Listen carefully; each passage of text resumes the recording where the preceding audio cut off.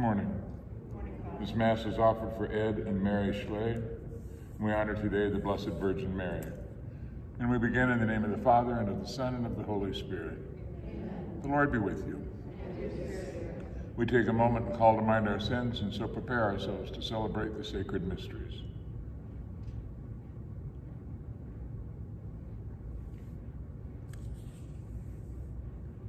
I confess to Almighty God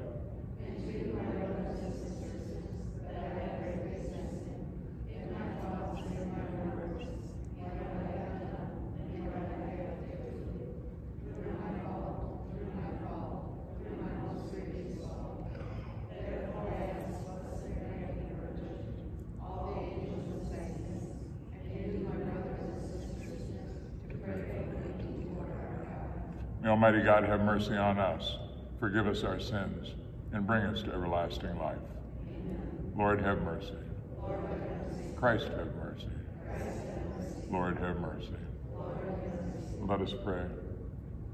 Grant, Lord God, that we, your servants, may rejoice in unfailing health of mind and body, and through the glorious intercession of Blessed Mary, ever Virgin, may we be set free from present sorrow and come to enjoy eternal happiness through our Lord Jesus Christ, your Son, who lives and reigns with you in the unity of the Holy Spirit, God, forever and ever.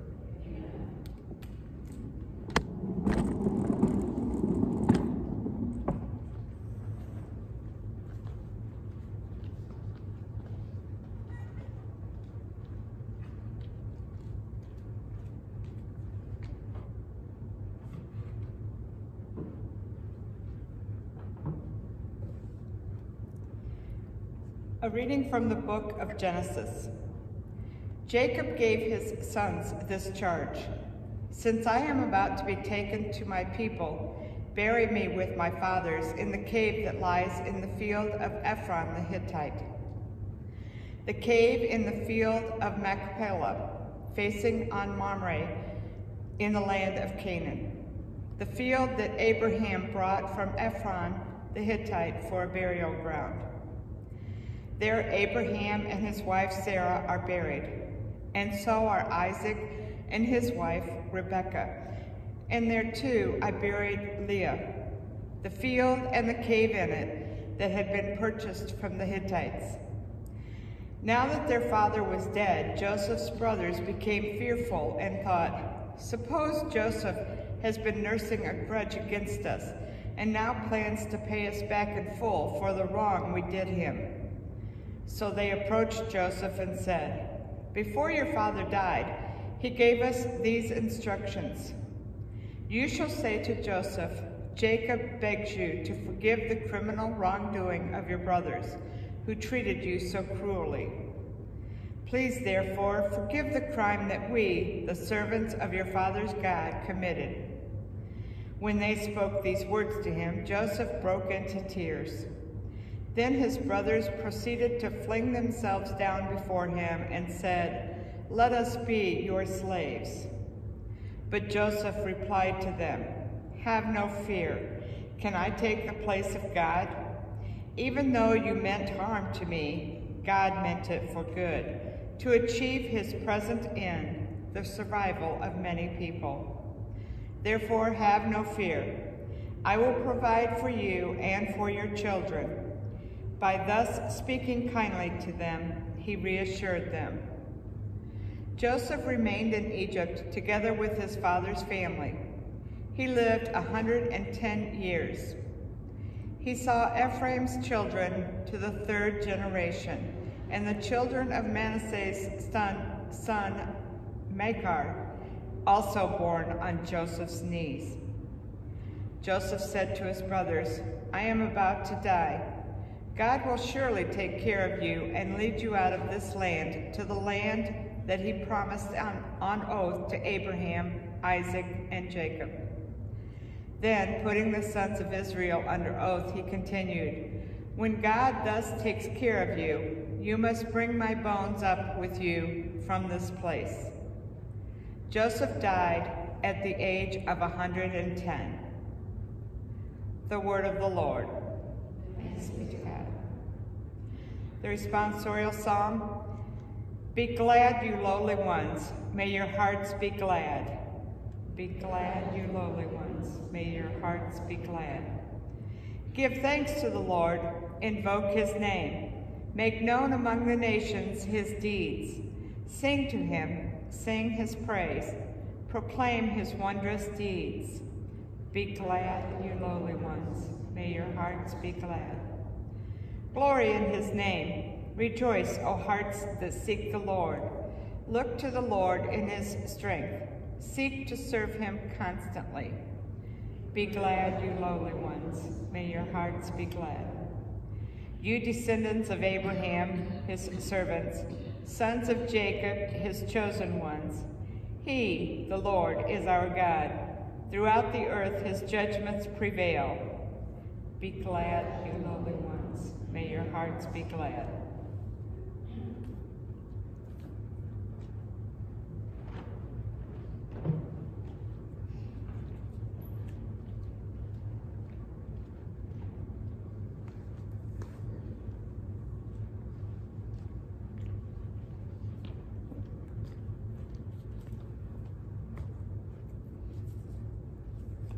Alleluia, alleluia. If you're insulted for the name of Christ, blessed are you, for the Spirit of God rests upon you. Alleluia, alleluia. A reading from the Holy Gospel according to Matthew.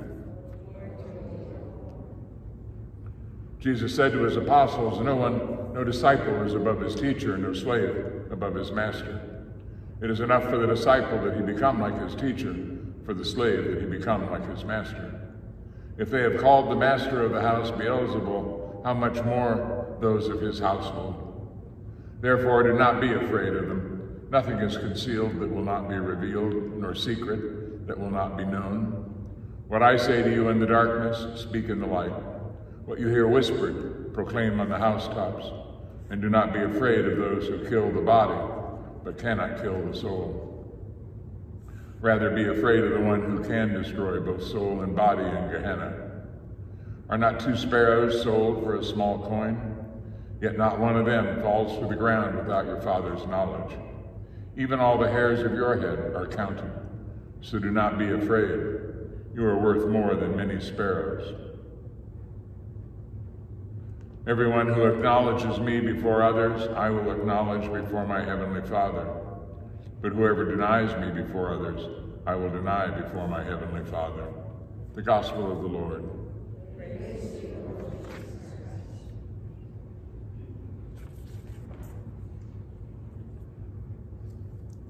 So today we hear the beginning of the end of the beginning of the end. And the brothers of Joseph won't let forgiveness forgive them. Now that their father was dead, Joseph's brothers became fearful as the guilty who have a shred of con conscience often do, they catastrophize.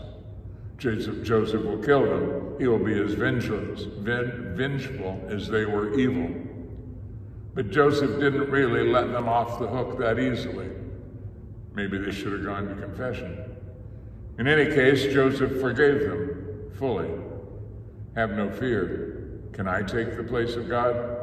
Even though you meant harm to me, God meant it for good, to achieve his present end, the survival of many people. Therefore, have no fear. I will provide for you and for your children.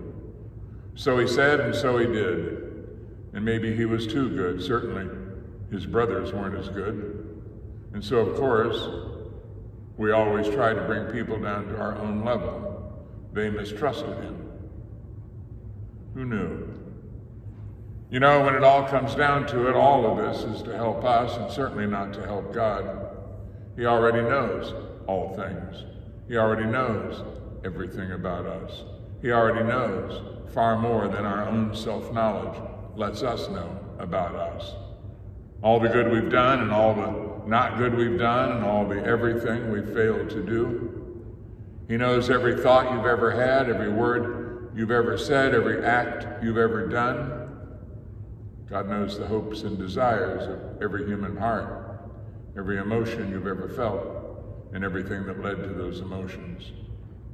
It seems the more we live and learn about God, the more we'll learn or can learn if we're awake about ourselves. God knows all things about us, and He still loves us, and He still calls us to Him. Imagine that.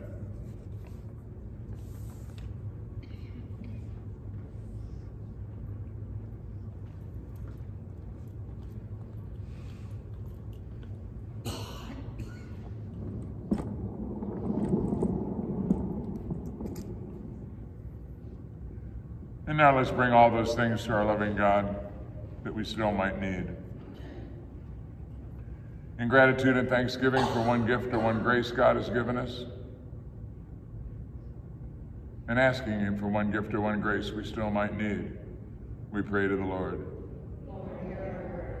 We pray for the repose of the souls of all those who have been killed by this plague, and we ask for the restoration to health and a full recovery for all those now afflicted with it. We pray to the Lord. And finally, we pray for one person we love. And we pray for one person we might find difficult to love. We pray to the Lord. Good and loving God, you hear our prayers and you alone know all those things we need. This morning we ask that you give us everything we ask for, in fact, all according to your will. And we ask this through Christ our Lord. Amen. And for the protection and purification of the church, we pray. St. Michael the Archangel, defend us in battle. Be our protection against the wickedness and snares of the devil. May God rebuke him, we humbly pray. And do thou, O Prince of the heavenly host, by the divine power of God, cast into hell Satan and all the evil spirits who roam throughout the world, seeking the ruin of souls. Amen.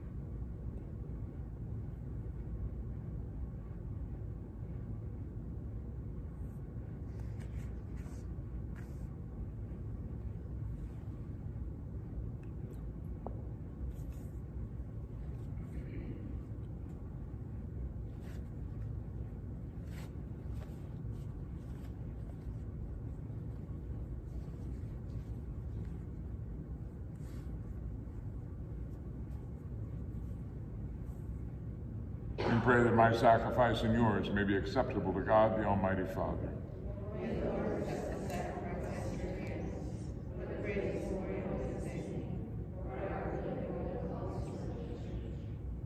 As we honor the memory of the mother of your Son, we pray, O Lord, that the oblation of this sacrifice may by your grace make of us an eternal offering to you. Through Christ our Lord. The Lord be with you. Lift up your hearts. Let us give thanks to the Lord our God. It is truly right and just, our duty and our salvation, always and everywhere to give you thanks.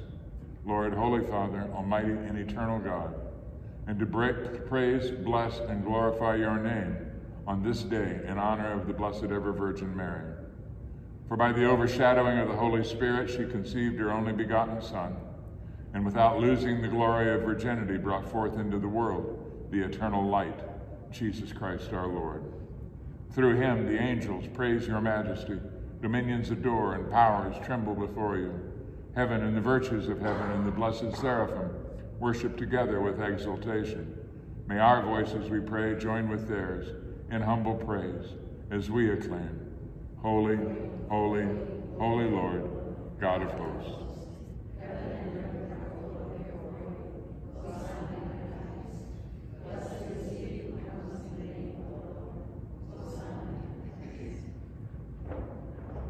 You are indeed holy, O Lord, the fount of all holiness. Make holy, therefore, these gifts, we pray, by sending down your Spirit upon them like the dewfall, so that they may become for us the body and blood of our Lord Jesus Christ. At the time he was betrayed and entered willingly into his passion, he took bread and giving thanks, broke it and gave it to his disciples, saying, Take this, all of you, and eat of it, for this is my body which will be given up for you.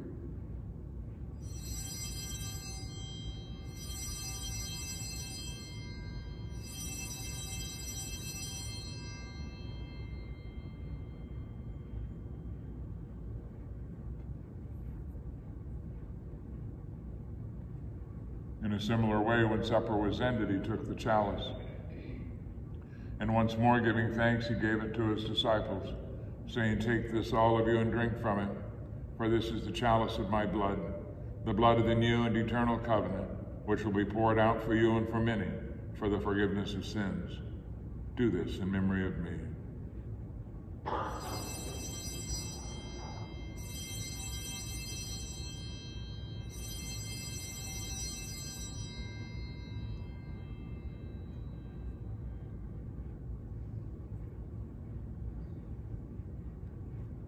Mystery of faith. Save us, Savior of the world.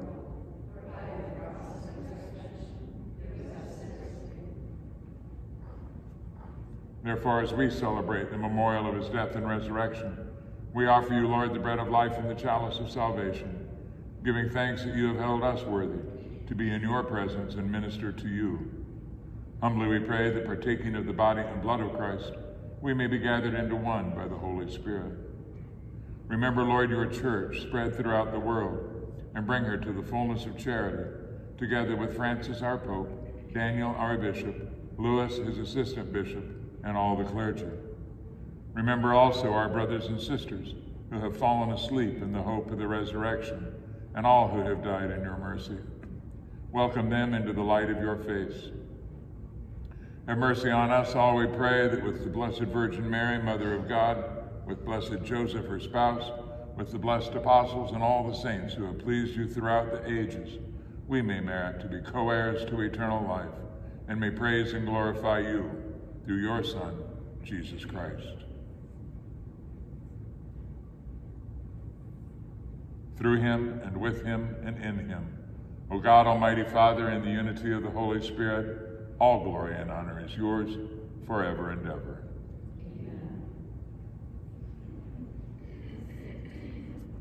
At the Savior's command, informed by divine teaching, we dare to say, Our Father, who art in heaven, hallowed be thy name.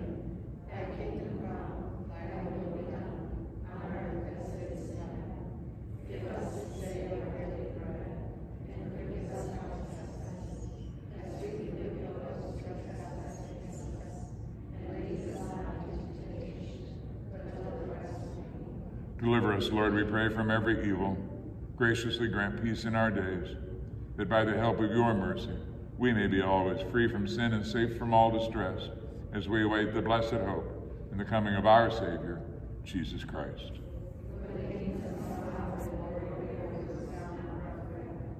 Lord Jesus Christ, who said to your apostles, Peace I leave you, my peace I give you, look not on our sins, but on the faith of your church, and graciously grant her peace and unity in accordance with your will who live and reign forever and ever. Amen. The peace of the Lord be with you always. Lamb of God,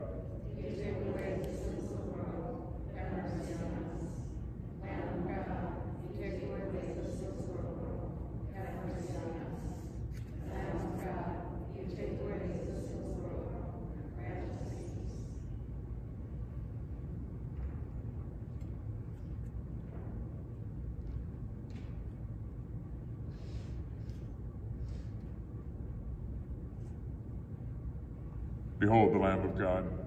Behold him who takes away the sins of the world. Blessed are those called to the supper of the Lamb. Lord, I am not worthy.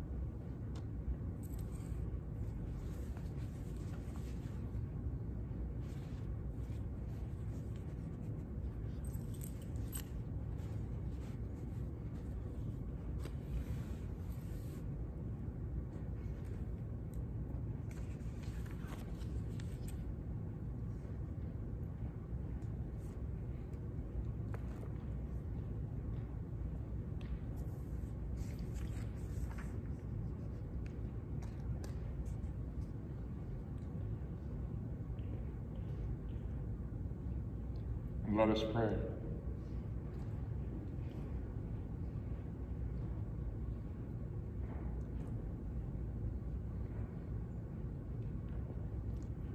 Grant to your church, O Lord, that strengthened by the power of this sacrament, she may eagerly walk in the pathways of the gospel until she reaches the blessed vision of peace, which the Virgin Mary, your lowly handmaid, already enjoys eternally in glory.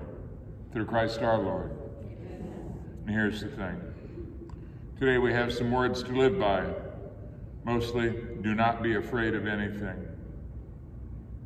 What would happen if you said to someone you don't like or love, Can I take the place of God? Even though you meant to harm me, God meant it for good. Do not be afraid.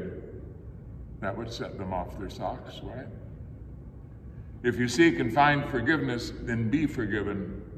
It's only prideful to hold on to that from which you've been freed.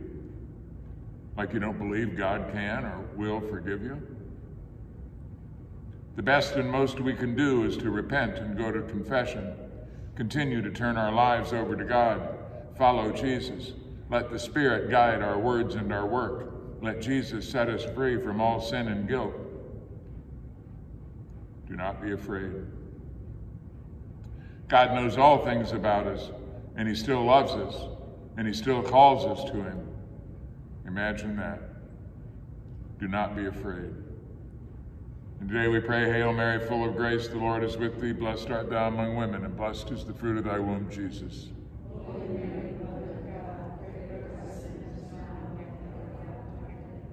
The Lord be with you. May Almighty God bless you, the Father, and the Son, and the Holy Spirit. Go in peace. The Mass is ended.